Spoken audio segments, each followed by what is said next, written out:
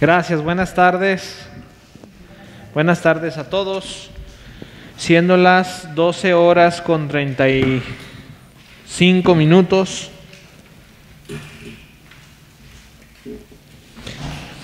Del día 6 de diciembre del año 2021 se da inicio a la sesión número 7 de la Comisión Edilicia de Hacienda y Patrimonio, por lo que le solicito al secretario regidora María Dolores Aceves González proceda a tomar lista de asistencia.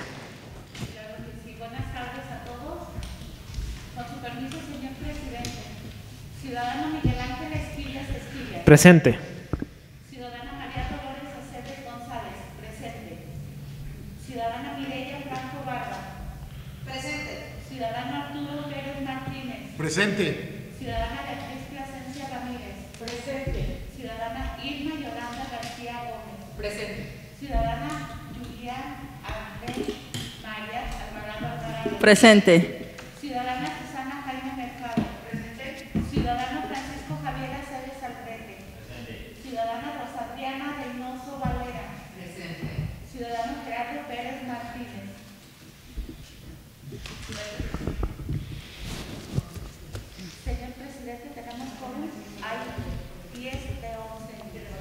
Muchas gracias, secretario. Existiendo quórum, se declara abierta la sesión y válidos los acuerdos que en ella se tomen y se propone para regir el siguiente orden del día, por lo que le solicito al secretario de lectura los asuntos agendados.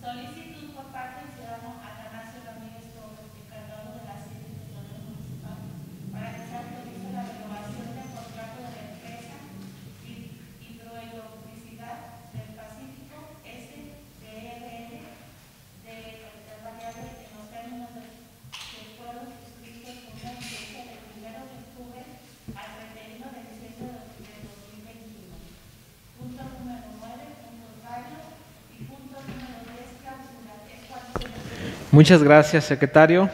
Les pido levanten su mano si están de acuerdo en aprobar el contenido del orden del día. Muchas gracias. Se aprueba por unanimidad. Pasamos al siguiente punto, secretario.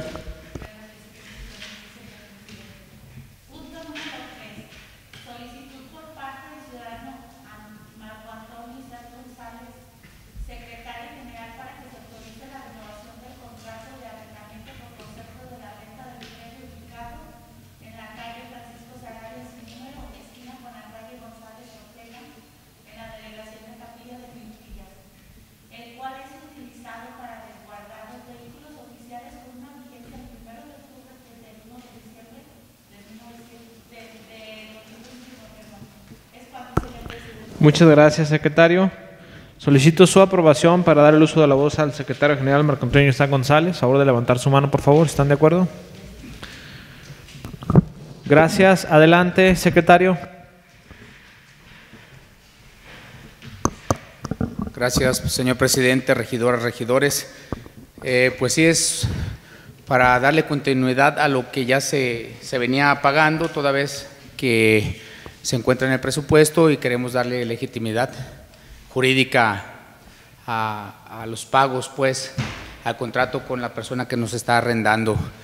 Si lo ven a bien, a sus órdenes. Eh, ¿Puede compartir qué vehículos se resguardan ahí?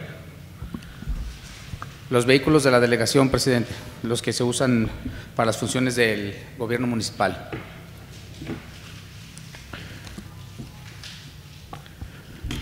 ¿Tenemos el dato de cuántos o no? No tengo el dato a la mano, ahorita si gustan en cinco minutos, con gusto se los, se los otorgo. Gracias, secretario. ¿Alguien tiene alguna pregunta, observación? Muchas gracias. ¿Están de acuerdo en aprobar el punto expuesto? A favor de levantar su mano, por favor. Gracias. Se aprueba por unanimidad. Pasamos al siguiente punto, secretario. Claro que sí, con su permiso, señor presidente. Punto número cuatro. Solicitud por parte del ciudadano Marco Antonio Isaac González, secretario general, para que se autorice la renovación del contrato de arrendamiento por concepto de la renta de local para la biblioteca José Vasconcelos, ubicada en la calle Juan Manuel, número 72, entre las calles Juárez y Zapata, en la delegación de Capilla de Milpillas, con una vigencia del 1 de octubre al 31 de diciembre del 2021. Es cuanto, señor presidente. Segundo y tercero, ¿no? También. Es el-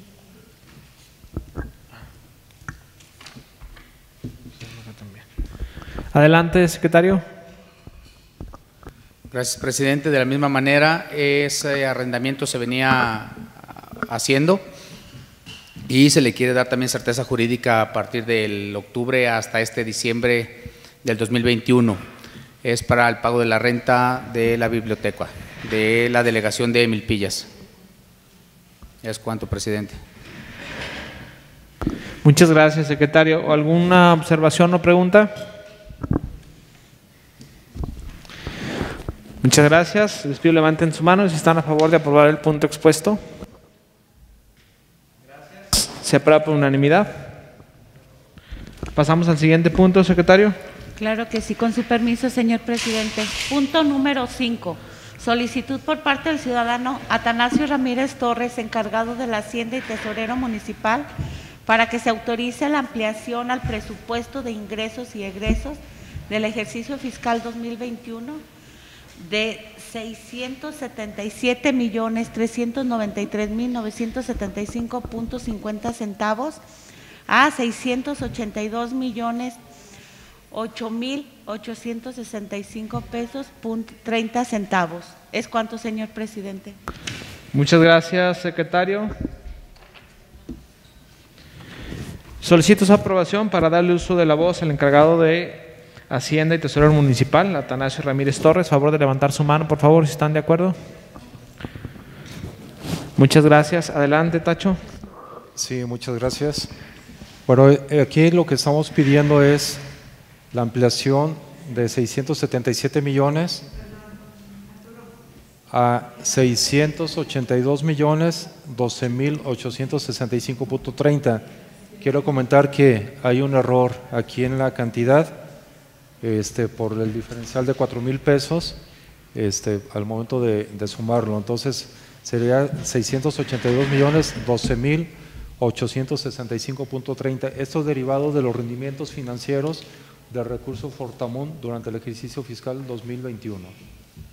Ya en la siguiente viene para qué va a ser destinado. Muchas gracias, Tacho. Eh, ¿Alguna observación o, o pregunta, compañeros? Muchas gracias. Les pido levanten su mano si están a favor de aprobar el punto expuesto. Muchas gracias. Se aprueba por unanimidad. Pasamos al siguiente punto, secretario. Claro que sí, con su permiso, señor presidente. Punto número 6. Solicitud por parte del ciudadano Atanasio Ramírez Torres, encargado de la Hacienda y Tesorero Municipal, para que se autorice la ampliación presupuestal número 55 de la Dirección de Tesorería Municipal por la cantidad de 4.618.889.80 centavos para completar la, la suficiencia presupuestal y realizar la adquisición de camiones de aseo público. ¿Es cuánto, señor presidente? Muchas gracias, secretario. Adelante, Atanasio. Sí, gracias, presidente. Bueno, esta es la ampliación, de- dice aquí, para complementar la suficiencia presupuestal para la adquisición de camiones de aseo público. En las transferencias presupuestales que se les mandaron, eh, allí viene la recalendarización para precisamente comprar cuatro camiones de aseo público. La diferencia de recurso que hace falta en la transferencia se complementa con eh, esta ampliación de los rendimientos financieros. Eh, quiero comentar que de acuerdo a lo que señala el artículo 37 de la Ley de Coordinación Fiscal, los recursos de Fortamun pueden ser destinados precisamente para este tipo de adquisiciones. Eh, La misma ley señala que es para el requerimiento de las necesidades del municipio, dando prioridad al financiamiento de la deuda o al, cumplimiento de la deuda, a lo que son, la cuestión de las aquellas actividades que tengan que ver con lo de las aguas residuales, eh, la actualización de los sistemas de recaudación o bien para acciones destinadas a lo que es la seguridad pública. Y en este caso, los camiones de aseo público van encaminados precisamente a eso, tiene que ver con la seguridad de la, de la sociedad, por lo tanto lo podemos destinar para ello. Y esto es para complementar la transferencia que viene de manera posterior. El artículo 37 de la Ley de Coordinación Fiscal. Muchas gracias, Tacho. ¿Alguna otra observación o pregunta? Muchas gracias. Les pido levanten su mano si están de acuerdo en aprobar el punto expuesto. Gracias. Se aprueba por unanimidad. Pasamos al siguiente punto, secretario. Claro que sí, con su permiso, señor presidente. Punto número 7. Solicitud por parte del ciudadano Atanasio Ramírez Torres, encargado de Hacienda y Tesorero Municipal, para que se autoricen las transferencias presupuestales mismas que se anexan al presente, a la presente solicitud. ¿Es cuánto, señor presidente? Muchas gracias, secretario. Adelante, tesorero, por favor. Sí, gracias. Esta transferencia es de la jefatura de informática por la cantidad de 130 mil pesos. Es restarlo a la partida 591 y destinarlo a la partida 246, 291 y 521 para la compra de cámaras, bobinas, cables, canaletas, grapas y otros materiales que son necesarios para este, equipar y darle mantenimiento a lo que son los circuitos cerrados que están aquí en Presidencia, el Instituto de la Mujer, este, Servicios Médicos y Seguridad Pública. En la transferencia es 225, también comentarles, hay un error ahí en la descripción, en el importe, en lugar de 100 mil son 130 mil pesos para la adquisición de pintura para darle mantenimiento a la plaza principal. ¿Por qué hasta ahorita? Bueno, eh, se estaba destinando un recurso para la remodelación de la plaza en virtud de que por las circunstancias no se puede llevar a cabo, sí se le queda un mantenimiento con, con pintura y nos están solicitando esos cambios. Para la compra de pintura 100 mil pesos, 10 mil para la compra de herramientas menores y a la 521 para este... A ver, creo que aquí hay un error. Eh, está, está copiado de informática. Son 100 mil pesos para la compra de pintura nada más. Sí, son 100 mil pesos en esa, en esa requisición. Es la, requisi- la transferencia, perdón, 225 para la compra de pintura. Claro, compra de brocha, compra de tiner, compra de todo lo que es, todos los demás materiales que se requieren para ahí. Corrijo este oficio. En la ficha, nada más. eh. En la ficha viene la para qué va a ser destinado, ¿no? La transferencia 230 de Dirección de Desarrollo Urbano y Obra Pública por la cantidad de 324.991. Eso es para la compra de material para reparar las losas por parte del personal de, albañilería. Son unas losas de banqueta. También viene ahí el proyecto que nos está mandando el, el área de obras públicas, señalando cuánto es el área a darle mantenimiento y de qué lugar. Y también viene la ficha técnica que se acompaña a la misma transferencia. Más está mal la cantidad, ¿no, Tacho? La de obras públicas Ajá. son 324.991 pesos. Es que, bueno, sí, nomás que. 324 millones. Aparte, le pusieron arriba casi como millones, nomás porque le pusieron la Ah, coma- ya, la se fueron ceros de más. Se fueron ceros de más. Ey. Sí. Sí, lo, ya tomé nota también de esa, de esa corrección en la descripción. a- abajo abajo en la aparece bien, nada más que arriba sí. Dije, ay Dios. Pues que va. Sí, perdón, es remodelar toda la, mucho dinero ni, ni del presupuesto del municipio. ¿eh? La siguiente transferencia es de la Hacienda y Tesorería Municipal por la cantidad de 12 millones 314 mil 165.29. Esto derivado de las economías suscitadas en varias áreas. La pri- las primeras son del- del- de la dependencia de seguridad pública, de la partida 339, 30.667.097 pe- centavos. De la partida 567 hay una economía de 3.990 pesos. De la partida 211 hay una economía de 1.000 pesos. De la partida 221, 386.96.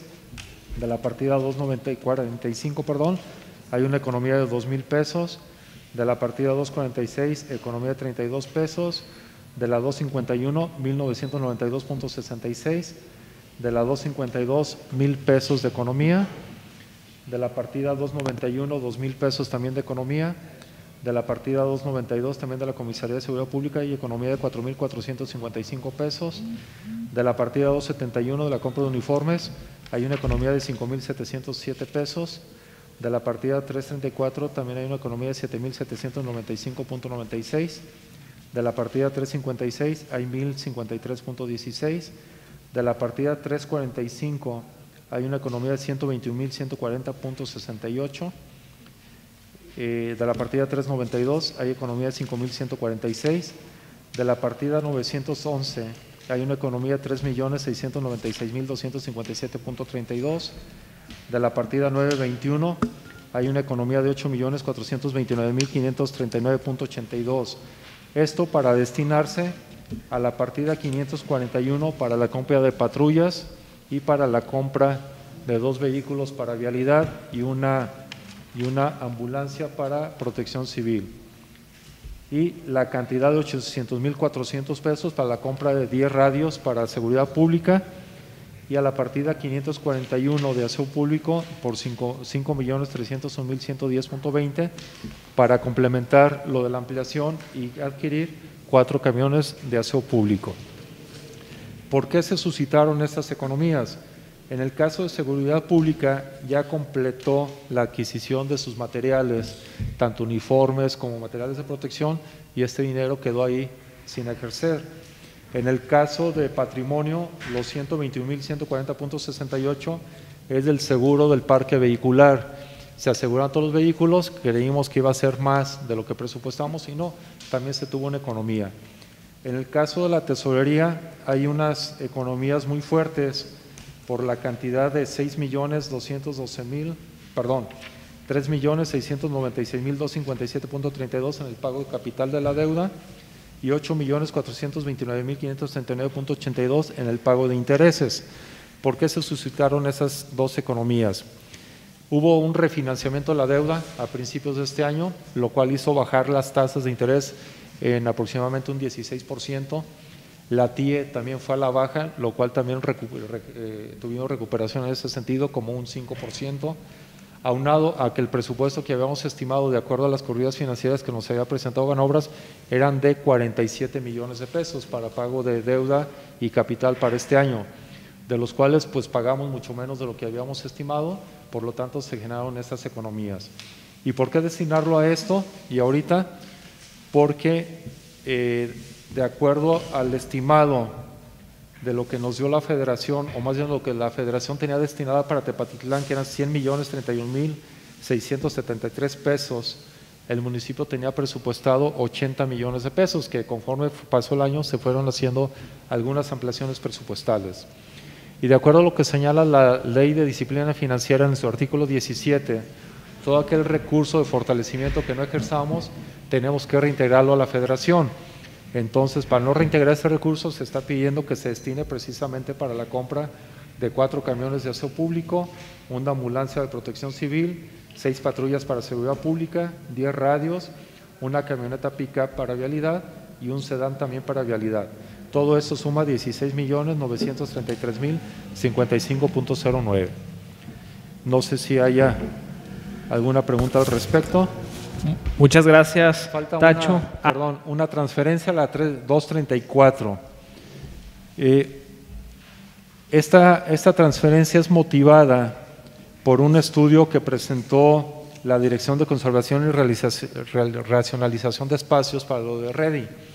Eh, habían autorizado ustedes anteriormente una, una transferencia, si mal no recuerdo, 150 mil pesos, pero de acuerdo a este estudio, lo que se tiene que pagar son cerca de 700, digo, todas las adecuaciones, ahí vienen los catálogos de conceptos, 783.554.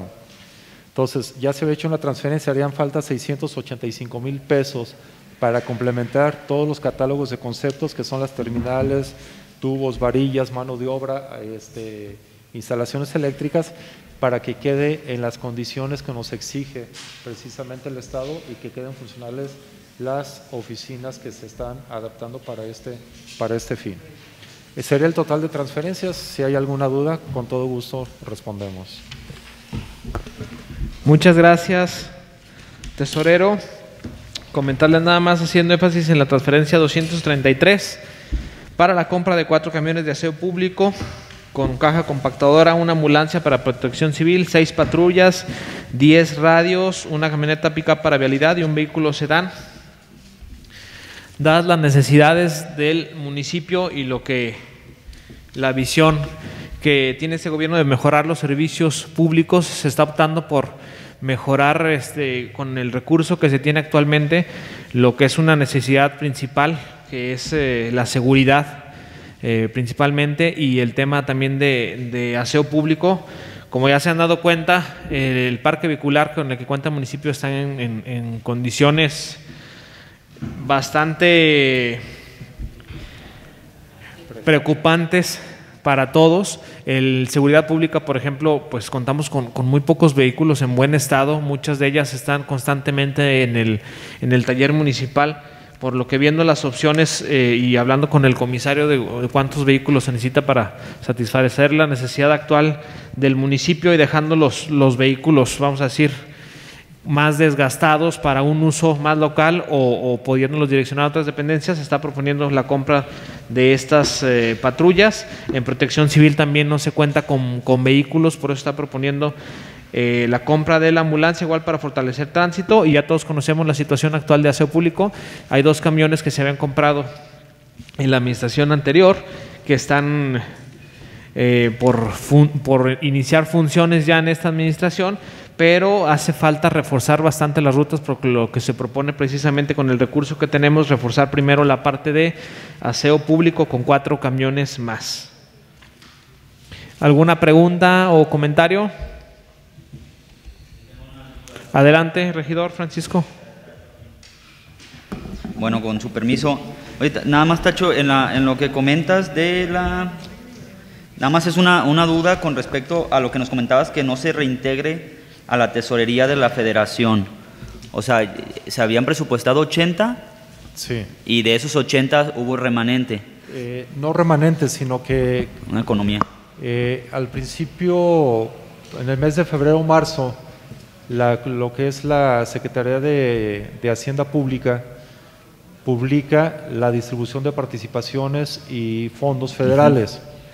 En ese, en ese informe, el estimado para el municipio son 103 millones, Ok. 100 millones 31 mil pesos. Eh, el municipio tendrá que hacer sus adecuaciones presupuestales de acuerdo al- a ese estimado que, que presenta la Secretaría de Hacienda Pública. Sin embargo, el, mu- el municipio de Tepatitlán, como al final de- del año regularmente hay ajustes, y el año pasado tuvimos ajustes al recurso Fortamun, este año también hubo disminución al recurso Fortamun y hubo ajustes a las participaciones. Entonces, evitando esa situación, no reprogramamos el total de los Ok. 100 millones hasta no ver y tener la certeza que nos va a llegar.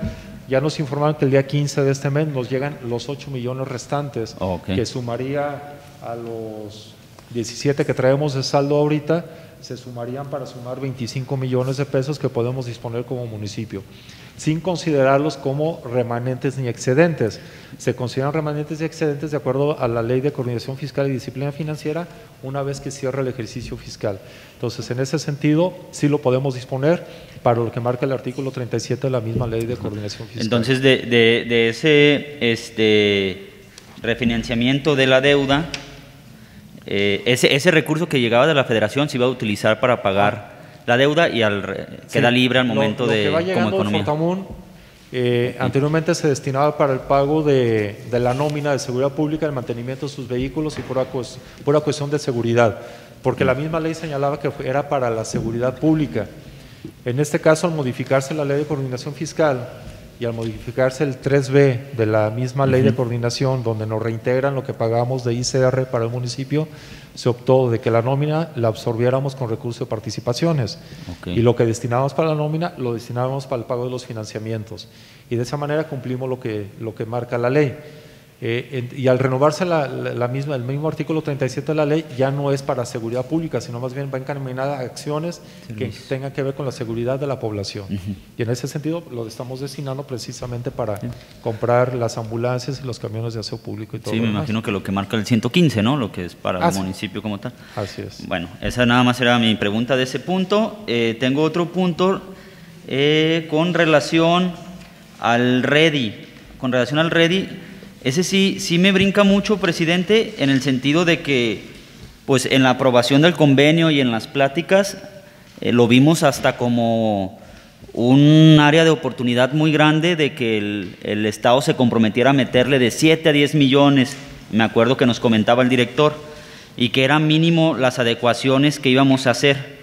Y ahorita de, de 80 a 150 ya pasamos a 790 las adecuaciones que necesitamos.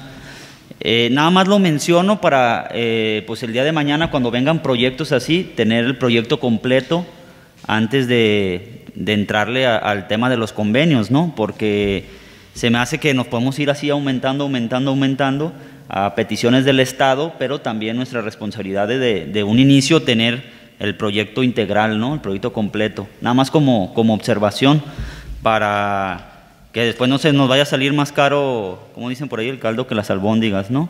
Nada más tener, tener en cuenta eso como observación y tengo una última. Gracias, regidor. Nada más compartirle que en este punto lo que menciona, efectivamente las adecuaciones, eh, faltaban muchas cosas de la instalación. Recordarle que el tema fue contratiempo, fue el inicio de la administración, lo cual hubo muy poco tiempo para poder sacar adelante los convenios. Y aún así creo que 700 mil pesos contra 10 millones de pesos pues no tiene... Que estamos esperando no, no, que no- lleguen, no tiene comparación eh, el costo-beneficio en esa parte. O ya tenemos certeza de ese de que van a ser los 10 millones. Es que me quedé con que no podría entre ser 8 hasta 10 entre millones. ¿no? 8 y, y 10 millones de pesos en la primera etapa más quedando quedando abierto para la segunda etapa. Ya se está trabajando en Nueva Pública Destino un proyecto precisamente para iniciar también más adelante se presentará la ampliación del inmueble y la adecuación para poder gestionar una segunda etapa y aprovechar el espacio de terreno también que, que falta ahí. Adelante Tacho. Sí, quería comentar sobre eso mismo, de que no se había contemplado lo que era la, la cometida subterránea y lo que era las- la instalación de la línea de media tensión y la línea de baja tensión, así como la trifásica, se había considerado con- en términos y condiciones normales. Y al considerarse línea subterránea o acometida subterránea y trifásica, pues sí incrementa, porque hay que hacer unas adecuaciones mucho más grandes. Y comentarles, bueno, las adecuaciones por, eh, como propuesta por parte de servicios públicos también, que eh, funcionan también como un, vamos a decir, una especie de, de seguro regidor para el municipio, para las instalaciones eléctricas, dada que alguna falla al, al tener adecuado ya eh, pasa como responsabilidad de comisión y no responsabilidad del municipio, ¿verdad? Con esas adecuaciones. Sí, de hecho yo, yo creo que sí le hacía, mm, está muy abandonado el espacio, ¿no? Definitivamente, pues el espacio hay que recuperarlo y hay que, hay que invertirle. Nada más digo que ir llevando como ese balance porque eh, como no tenemos el proyecto det- detallado de esos 10 millones, eh, ver qué tanto eh, se puede cubrir lo más que se pueda por el Estado para llevarlo de la mano, ¿no? Sí, yo estoy de acuerdo que era un espacio incluso que nos va a servir para la, el apoyo a esa zona, que es una zona muy desprotegida, entonces yo creo que sí, o sea, sí estoy de acuerdo en invertirle, nada más de una vez reprogramemos para que ya tengamos el proyecto más integral, pues esa es mi, mi observación nada más. De, de cualquier manera, dada la situación del, del Ready con o sin él, pues es un espacio que efectivamente se tenía que rescatar Sí, yo estoy de acuerdo. y para ponerlo en funcionamiento de, de- de la colonia. Adelante, regidora. Gracias, presidente. Compañero, comentarle que el REDI llega con la condicionante de facilitar los espacios. Si era empezarlos desde, desde cero, el compromiso de hacer toda la estructura. Gracias a que no se utilizó en otro, en otro proyecto, pues ya teníamos eso avanzado. No corresponde al REDI la obra eh, de estructura para el presupuesto que nos están otorgando, sino al municipio. Entonces, al momento que se determina cómo poner, rehabilitar las condiciones que tenía, que faltaban las redes hidráulicas y otras cosas, apenas se descubrió, no es algo que estamos este, inventando y que se tiene que hacer. El, el funcionamiento del lugar no se dio, por eso no sabíamos cuántas cosas le iban, a, le iban a salir sobre la marcha, que iban a hacer falta, pero no construimos una, una finca nueva, entonces ya teníamos, gracias a Dios, esa estructura, esa finca, y el tema es, lo que está poniendo Ready es, es este, la parte de, la mayor parte, lo comentaba nuestro director de promoción económica, es en tecnología. Sí, sí recordarán que la mayor parte de esos, de esos entre 8 y 10 millones es por la- el nivel de tecnología que se va a facilitar para que funcione el Ready. ¿Es cuánto? Gracias. Gracias, regidora. Y agregar nada más, eh, bueno, lo que comenta el regidor Francisco. Eh, cuando se revisaron las instalaciones también por parte de, promoción económica y, de, gobierno del estado, pues aparentemente el edificio está en condiciones para adecuarse. Nada más ya a la hora que entró obras públicas y proyectos a revisar, pues ya nos dimos cuenta nosotros de muchas cosas, por ejemplo, se- dentro del presupuesto está no están ni las eh, ni el drenaje, mm, tiene las líneas de agua, las tomas, o sea, es- está construido el, inmueble, pero como por encimita nada más no, no tenía nada, nada terminado y sí requiere bastante ampliación. En principio es, es un espacio que se tenía que rescatar. Se tenía que rescatar y no solamente rescatar, sino darle un uso y aprovechar el, el- el terreno que se tiene con un proyecto integral para que funcione para toda la, la localidad.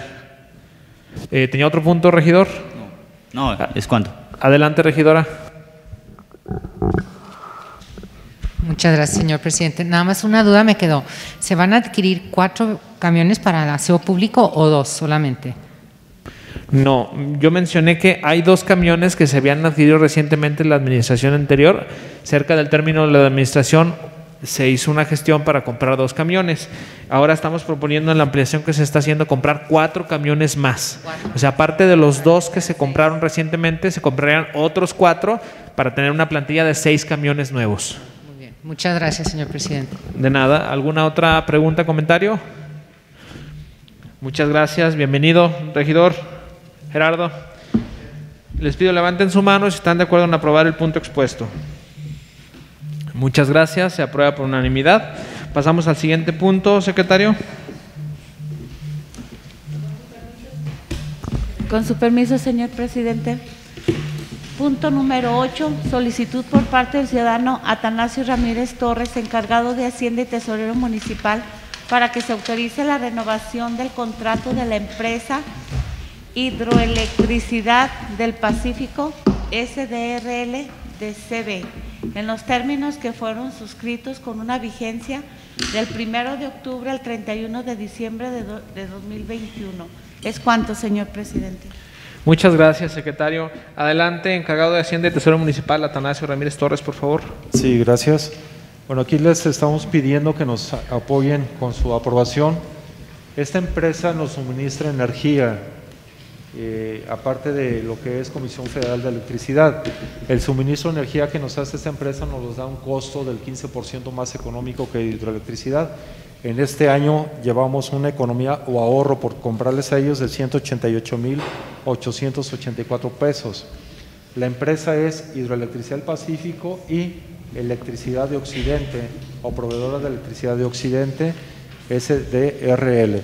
Esto es únicamente del mes de octubre al mes de diciembre. ¿Y por qué nada más por esos tres meses? Lo que pasa es que se va a iniciar procesos de análisis con esta empresa porque a nivel federal se les hizo un bloqueo a todos los suministradores de energía de tal manera que ya no puedan suministrar más energía de la que les autorice la federación.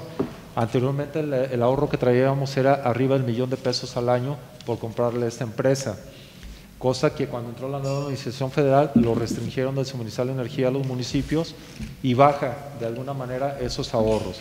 Ya se está viendo con la, con la empresa, con la, eh, este, la generadora de energía y ver qué acondicionamientos o cambios tenemos que hacer en el municipio para que nos puedan suministrar energía. Al parecer tiene que ser a través de servicios medidos. Entonces, en ese sentido, se va a ver cuánto nos cuesta hacer la instalación de todos esos servicios medidos porque si es menor que el ahorro, pues nos conviene precisamente llevar a cabo esas, esas actualizaciones. Entonces se van a tener reuniones con la empresa en esos días y ya en enero se les presentaría la propuesta de si se renueva o no se renueva para el próximo ejercicio fiscal. Ahorita sí, porque ya nos suministraron energía y sí vemos que hay un ahorro de 188 mil, cerca de 189 mil pesos, por lo tanto sí, sí conviene pues pagarle esta di- diferencia de energía. Muchas gracias, Tacho. ¿Alguna pregunta o comentario? Adelante, regidor. Eh, Con su permiso, presidente, eh, aprovechando este tema que está en, pues en boga ahorita en- a nivel nacional, eh, yo quisiera tener, contar con mayor información referente a esto para lo del próximo año, aprovechando que ya está, estamos viendo el tema. Por ejemplo, ¿a qué se usa o qué destino se le da la electricidad de esta empresa o cuál es la diferencia con la que suministra Comisión Federal de Electricidad o tiene ahí su propia red de distribución? Eh, Ah, ok. no sé, porque hay mucha desinformación referente a este... Sí, Hasta- de esta, hasta de este empresa tema. somos socios como municipio, tenemos acciones en esta empresa, claro, son mínimas, pues para poder suministrar energía tendrías que hacerte socio. Cuando se contrató el servicio, si mal no recuerdo, 2007 o anterior a esa fecha, se, se pagaron unas acciones, se compraron unas acciones, que ahí las tenemos en la contabilidad. Esta empresa suministra la energía a través de las mismas redes de Comisión Federal de Electricidad. En ese sentido, nosotros tenemos que hacerle un consumo mínimo a Comisión Federal de Electricidad. ¿Cuál es la diferencia en cuanto al costo? Que si, por ejemplo, Comisión te, te cobra cada kilowatt en cuatro pesos, hidroelectricidad te la cobra en 2.50 o 3 pesos, o sea, un peso menos o hasta un 50 menos por kilowatt. Que si lo sumamos al total de kilowatts es donde se genera el ahorro para el municipio. Pero de entrada es un 15% menos las tarifas de hidro comparadas con las tarifas de Comisión Federal de Electricidad. Correcto. ¿Y puedo? Adelante. Entonces somos como el caso de Otso y Walmart y todos ellos, eh, al ser socios de una empresa que produce energía eléctrica. Entonces, y, es, y se, se hace una diferenciación entre la energía que llega con ellos o cuál es la vía. Una nos llega por un lado y otra por otro. No, llega por o la misma ¿cómo es vía. eso? Llega por la misma vía, hidroelectricidad, se conecta a las redes de comisión, suministra la energía para el municipio y dice, ¿sabes qué? Comisión, para Tepatitlán van 10 mil kilowatts al mes, para lo que es el alumbrado público nada más. Y es para ciertos circuitos que ya están canalizados para, para tomar esa red, es como si fuera una red de agua. Se conecta de la presa del Jihuita, la presa del Salto, y, pero Hidro lleva su contabilidad o su conteo de cuánto nos suministra. Cuando le llega a comisión, comisión registra cuánto le llegó de hidro y ya nos presentan ambos.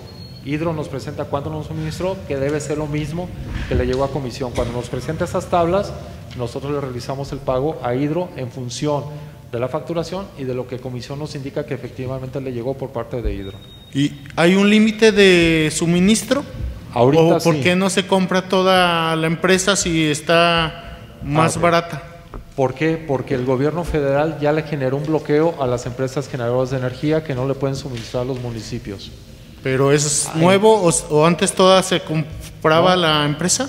Eh, antes le comprábamos el 20% a comisión o 25% a comisión por el uso de sus redes y el resto se le compraba a Hidroelectricidad del Pacífico. Tan es así que traíamos ahorros arriba del millón de pesos por año con hidroelectricidad. Ahorita por la cuestión del bloqueo que se le generó a nivel federal, traemos un ahorro de 200 mil pesos a lo mucho, porque nos suministran poquita energía. ¿Cuánto? Poquita energía. En, en los, ¿Pero de cuánto es el ahorro? el ahorro, 189 mil pesos. O sea, bajó 800 mil pesos. Bajó 800 mil pesos. ¿Por qué? Porque nos suministra, en lugar de suministrarnos 700 kilowatts, nos suministra 130 kilowatts. Ah, Gracias, Tacho. ¿Alguna otra observación o comentario? Regidora Susi, a ver si le echo una llamada al presidente ahí para que nos desbloquee esa parte. Por favor. Muchas gracias. Quien esté a favor de aprobar el punto expuesto, a favor de levantar su mano, por favor. Muchas gracias. Se aprueba por unanimidad. Pasamos al siguiente punto, secretario. Sí, con su permiso, señor presidente. Punto número nueve, puntos varios. ¿Es cuánto, señor presidente? Gracias, secretario. ¿Algún punto vario, compañeros? Muchas gracias. Pasamos al siguiente punto, secretario. Con su permiso, señor presidente. Punto número 10, clausura. ¿Es cuánto, señor presidente? Muchas gracias. Siendo las 13 horas con 17 minutos del lunes 6 de diciembre del año 2021, damos por terminada la sesión número 7 de la Comisión Edilicia de Hacienda y Patrimonio. Muchas gracias a todos. Gracias, no se me vayan para que me firme.